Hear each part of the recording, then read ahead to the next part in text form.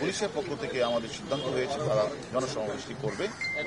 Bangla college Bangla college সিদ্ধান্ত। মির্জা ফখরুল ইসলাম আলমগীর সাহেব এবং মির্জা আব্বাস দুজনই আমাদের ডিবি কম্পাউন্ডে আছেন তাদেরকে আনা হয়েছে। আমাদের কিছু বিষয় আমরা জিজ্ঞাসাবাদ করছি। জিজ্ঞাসাবাদ শেষ করে আমি বাকি বস্তাতে বলতে পারব আসলে তাদের বিষয়ে কি তাদের একটা বড় সমাবেশ আছে। এই সময় গ্রেফতারের প্রয়োজন।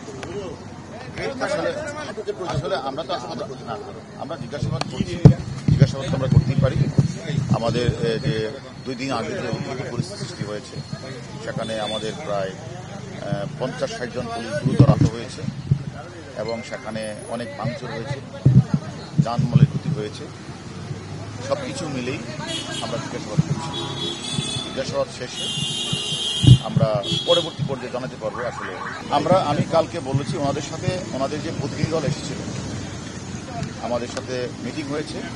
এই সৌহার্দ্যপূর্ণ মিটিংয়ে তারা দুটি প্রস্তাব করেছেন, আমরা ঠিক দুইটা প্রস্তাবে মেনে নিয়েছি। তারা প্রথম বলেছে তারা জনসমাবেশটি করতে চায় কমলাপুর স্টেডিয়ামে। এবং আমরা আরেকটি স্থান, আমরা তখন বাংলা কলেজকেও আমরা করেছি দুইটা জিনিসটি তারা দেখেছে দুইটা জিনিস দেখে আমরা মোটামুটিভাবে সিদ্ধান্ত উপনীত হয়েছি। যে যেহেতু কমলাপুর স্টেডিয়ামে ক্রিকেট খেলা চলছে, সেখানে নিচে অনেক সিনথেটিক ইয়ে রয়েছে পেজার রয়েছে কার্ড পেপার রয়েছে, অনেক কিছু রয়েছে। সেখানে মাঠটি নষ্ট হয়ে যাবে। সে কারণে আমরা পুলিশের পক্ষ থেকে আমাদের সিদ্ধান্ত হয়েছে, তারা জনসমাবেশটি করবে। বাংলা কলেজ বাংলা কলেজ সিদ্ধান্ত। কিন্তু তাদের মধ্যে আবার আরেকটা স্থানের কথা তারা এখন বলছে, সেটা হচ্ছে গোলাপবাগ মাঠ। আসলে গোলাপবাগ মাঠে কোনো কথাই হয় নাই। এই বিষয়ে কোনো সিদ্ধান্ত হয় কোনো কথা হয়নি তারা সেটার কথা আবার বলছে।